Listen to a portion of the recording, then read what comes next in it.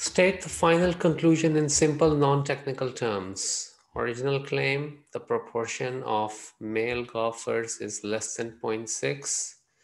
Initial conclusion, fail to reject the null.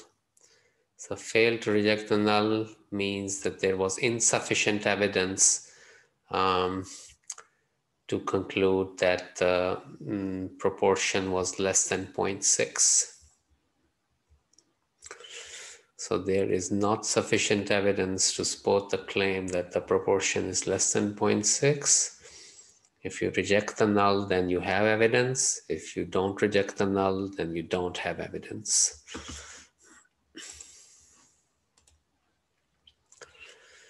Three years ago, mean price of existing single family home was this much. A real estate broker believes that existing home prices are lower so the null would be, so we are talking about mean price, so mu. Null always has equals. And uh, we're talking about the price of 243, 794.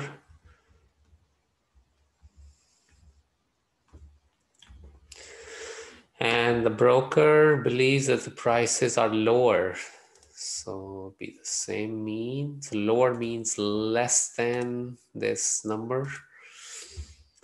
243, 794.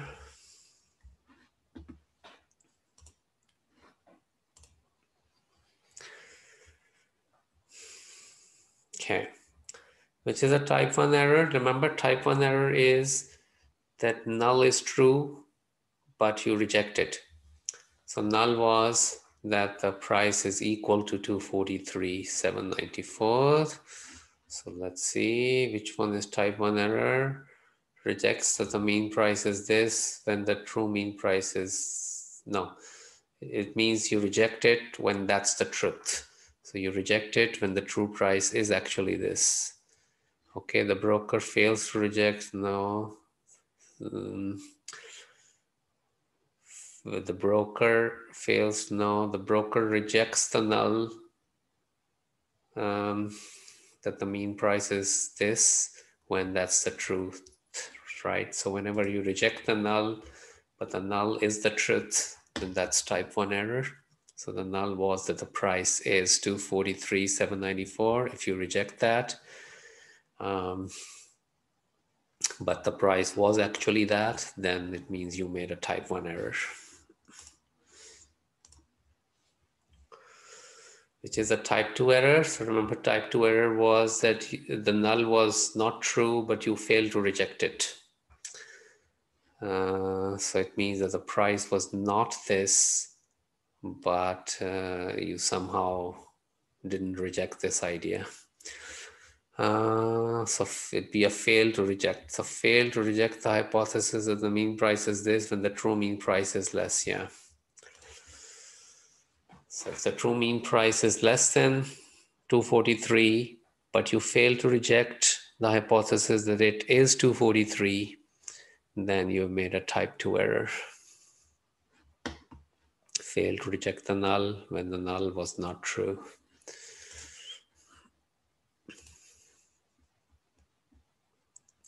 What happens to the probability of making a type 2 error beta as the level of significance alpha decreases. So alpha is the type 1 error, beta is the type 2 error probability. So now, uh, if you want to reduce uh, alpha, which, which is a type 1 error, so let's take the example of that um, innocent or guilty.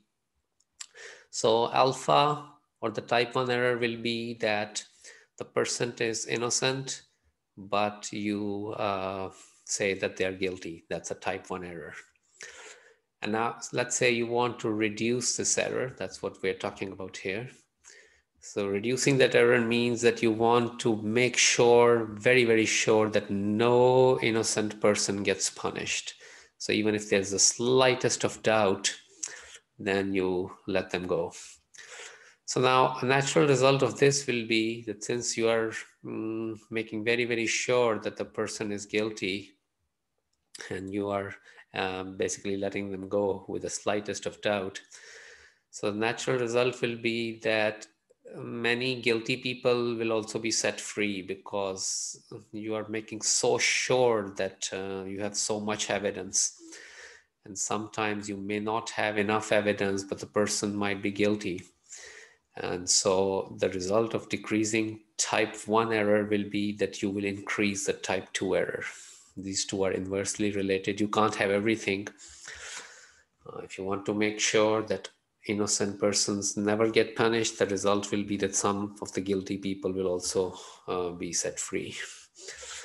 So type 1 and type 2 errors are inversely related. The probability of type 2 error increases. And they were saying what happens to type 2 error when type 1 decreases. So when type 1 decreases, type 2 increases. They are inversely related. consider H naught, the defendant is not guilty. So that's what we've been talking about. So H naught is not guilty, innocent, and uh, HA or the alternative is that guilty. Explain in the context if the um, of the test if H naught is rejected. So if H naught is rejected, it means you are rejecting the innocence and you are saying you are going by the HA, which says guilty. So the verdict is guilty. That's a null hypothesis. The defendant is guilty. No, null hypothesis is innocent. Rejecting H naught implies null hypothesis, not guilty is true. Uh, no, you rejected it. So you didn't say that not guilty is true. You said guilty is true. Rejecting H naught implies null hypothesis, not guilty is false. Uh, the defendant is therefore found guilty and sentenced.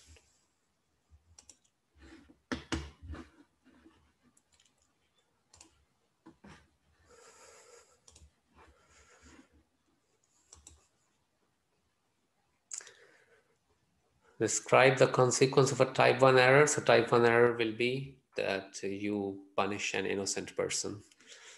Result in an innocent defendant being set free? No. Result in a guilty defendant? No. Would result in an innocent defendant being convicted? Yeah.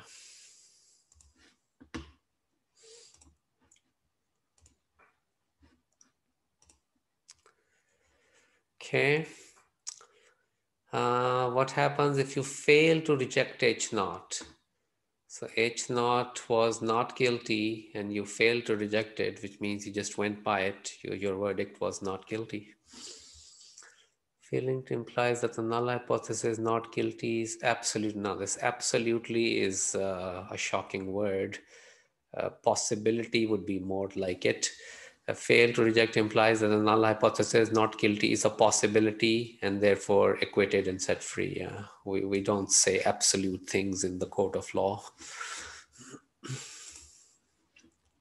So again, the same idea, we, we can't, whenever there's a choice between using very strong language and using like kind of mild language, you always go for the mild language. You don't say it's absolutely true, but you say it's a possibility.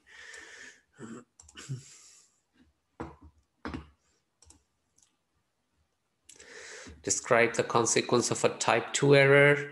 So type 2 error will be that you let an, a guilty person go free. Uh, result in the guilty defendant being convicted? No. Result in the guilty defendant being set free. Yeah. Type 1, punish innocent. Type 2, let guilty go free. Okay, that answer section. Mm.